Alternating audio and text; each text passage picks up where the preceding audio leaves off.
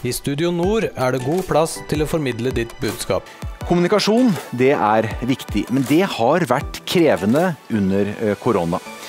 Vi kan jo ikke møte hverandre lenger. Vi sitter på hjemmekontor og jobber fra stue og kjøkken, og vi møtes ikke på den samme måten. Denne muligheten her da, til å arrangere en digital konferanse her på Strømhotellet, den åpner fantastisk mange muligheter hvor man da kan treffe hverandre. Kanskje er det et lite Skavlan-talkshow vi skal lage, kanskje er det en liten debatt eller et eller annet annet som passer da din digitale konferanse. I Studio Sør kan flere foredragsholdere kjøre sine bolker etter tur. Vi filmer med ett til to kameraer, sørger for god lyd, viser presentasjonen din, eller både deg og presentasjonen. Du følger presentasjonen på din egen skjerm.